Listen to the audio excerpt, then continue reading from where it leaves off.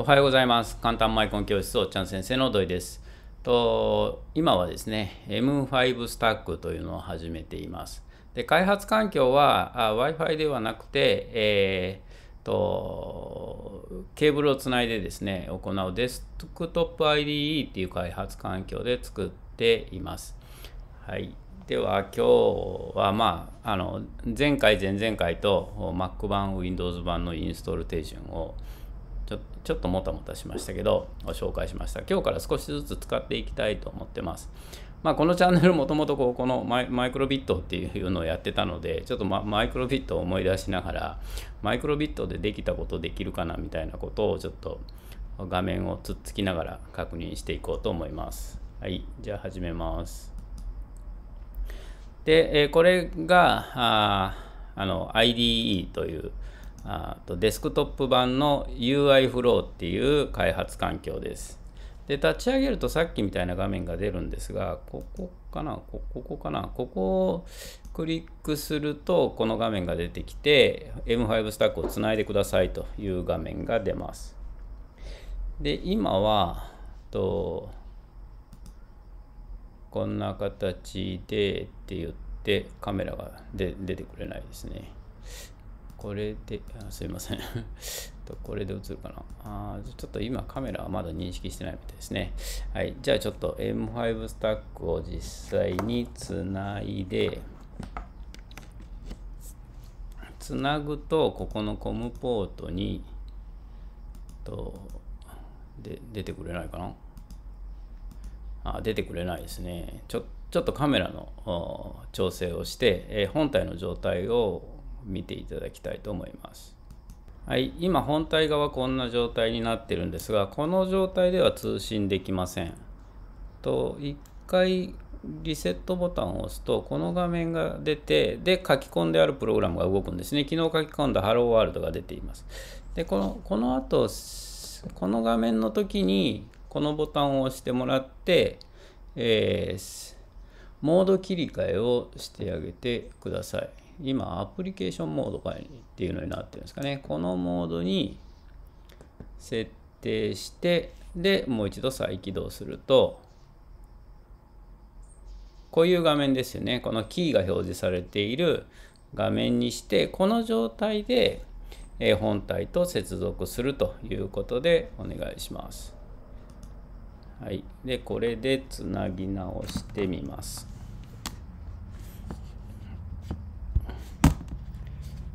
ちょっと私の Mac がですね USB ポートがちょっと数が限られていて いちいち差し替える時にカメラ外さないといけないのでちょっとこんなもたもたした形になっています。すいません。はい、でこうすると今一番下に見えましたねこれが M5 スタックをつないだ時のポートですで、これを選んでもらってつなぎます。まあ、Mac 版はこんな風な表示ですけど、Windows 版はコムなんとかっていう形で見えてると思います。少しこれあの OS によってここの出方は、見え方は違うと思います。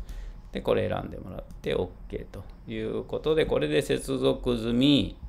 で、ここの下の部分、ここにも接続済みと出てきて、で、これで、作れるということになります。はい、で何から見ていきましょうか。でここの画面を作るっていうことが、まあ、あとマイクロビットと違うところなんですね。でまあマイクロビットで言うとどうなんですかね。結構こんなグラフがあダブルクリックしたら2つ目ができましたね。あダブルクリックするとコピーされるみたいですね。えなんかこう補助線みたいなのが出てくるみたいですね。1並べて、あ、勝手に並んでくれますね。縦方向とか。ここはセンタリングしてくれないのかな。で、これの直径ちょっと倍ぐらいにしてみましょうか。お半角文字ですね。なんか、ミッキーマウスみたいな形になってますが、あここんな風になってくれるみたいですね。一応こう、接線ぐらいで合わせてくれてるんですかね。で、こんなマークを作って、これで書き込んだらどうなんですかね？これだけが実行したら出るんですかね？あとちょっと色とかも変えれるんですか？色もこんな風に変えれるみたいで。あこれ線の色ですね。で OK バックグラウンドカラーこれは？あこれが中身の色ですか。だったらこれも同じ色にしてあげればいいのかな？ここにカラーマップとか言って、これ記号で入れるか、ここをつまんで入れるか、一番端にしておきましょうか。輪郭も一番端にしておきましょうか。うんと、F000 と。これ一緒になってるんですかね。まあ、そうまあ、一緒に一緒になってるみたいですね。で、レイヤー6というので、こんな風になんか絵を作っていくっていうのもできるみたいで、これだけで書き込んであげると、書き込みというか、まあテ、テスト欄がこれなのかな。これをすると、すいません、ちょっと画面が映せませんが、今、M5 スタックの方に画面がこのように映りました。で、これ、あの、抜くと多分今通信してるデバッグモードみたいな感じだと思うので、実際にこれを本体に書き込むには、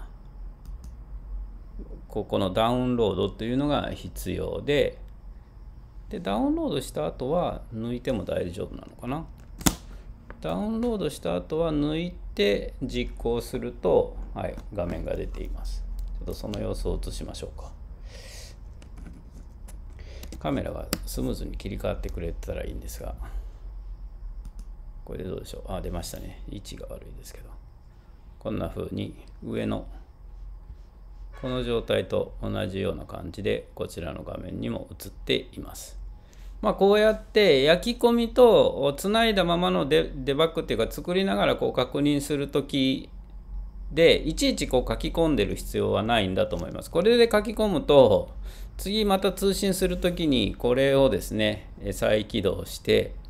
とセットアップでとモードをこうあの焼き込むとモードが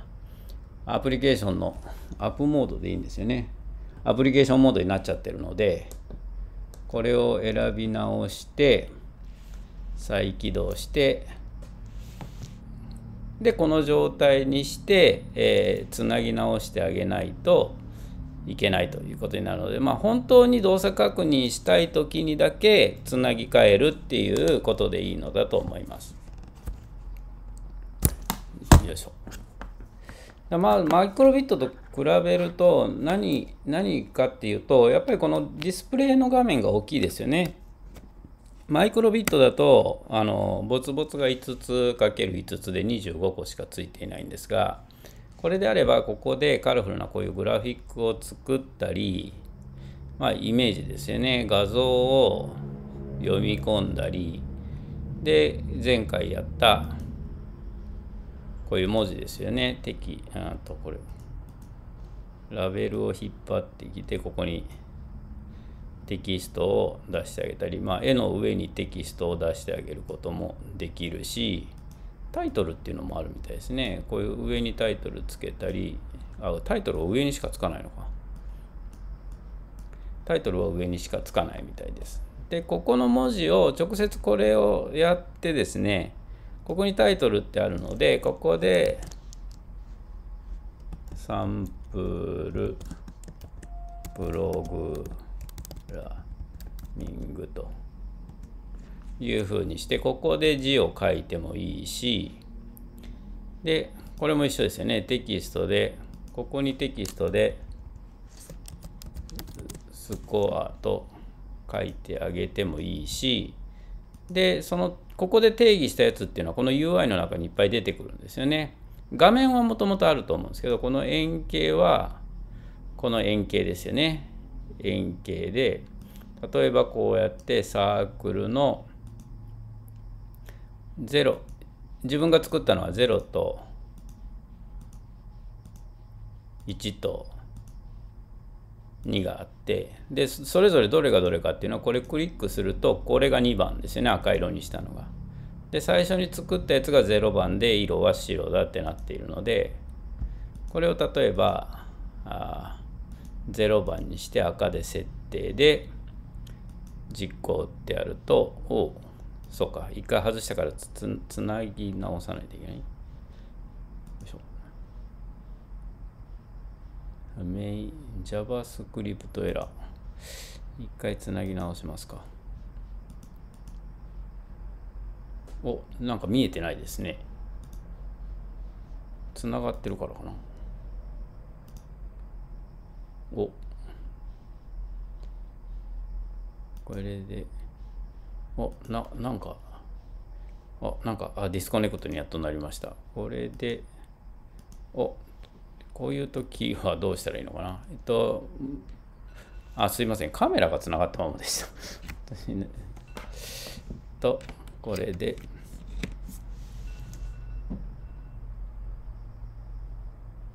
カメラがつながったままなので、これでやっとマイクロあ M5 スタックになりました。で、これにしてつなぎ直して接続。まあ、この辺りがですね、Wi-Fi 版にしておけばこう、こういうことがないんだろうと思うんですが、で、これでリロード。で、これで接続済みで、で、これで実行すると実行されて、なんかこここだけ色が変わってるんですが、ここの、このシミュレーターが動いてくれないんですよね。本体側のプログラムは動いてくれています。で、これじゃちょっと動きがないので、動きを少し入れましょう。なんか、はい、もう10分回っちゃいましたね。と、ループっていうのがあるので、これで繰り返す条件、ずっと的にしたいので、こんな風にしましょうか。ずっとで、え条件は、ここに、うんと、論理、true と。これをずっとしとくと、これでずっと true なんで、ずっと回り続けるようになります。で、これを複製して赤、白、赤、白という風な感じでいかがでしょう。で、時間待ちみたいなタイマーってありますね。タイマーで、1秒停止、右クリックで複製して1秒停止と。で、これで実行をしてみると、なんか点滅してくれています。はい、これを書き込んで今日の終わりにしましょうか。あなんか十分なサンプルとは言え言い難い感じですが、とまあ、これでプログラムできたらこれを保存とかできるんですかね。さサンプル01とかにして、プロジェクトの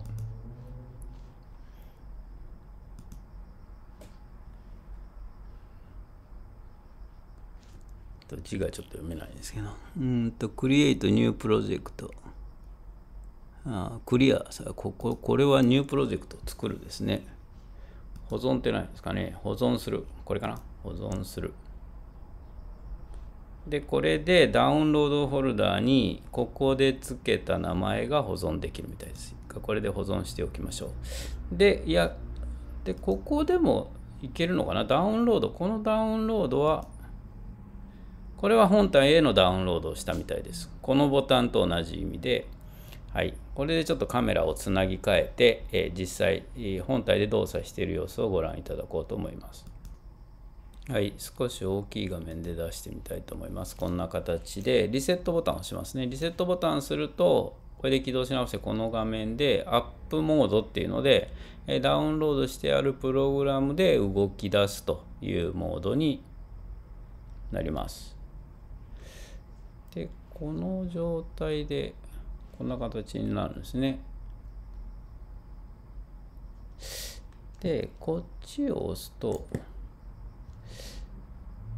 セットアップ、なんか Python っていうコードの形で映りますかね。ちょっとピントがボケていて。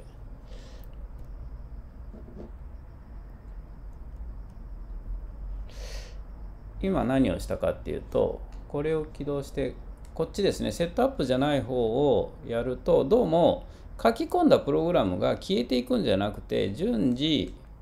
保存されているので、これで選んで動かせるってことですかね。カラートラック。これもともと入ってたプログラムかな。私作った記憶がないので。でこれだとどうなんですか？これはななんかち違う。立ち上がる。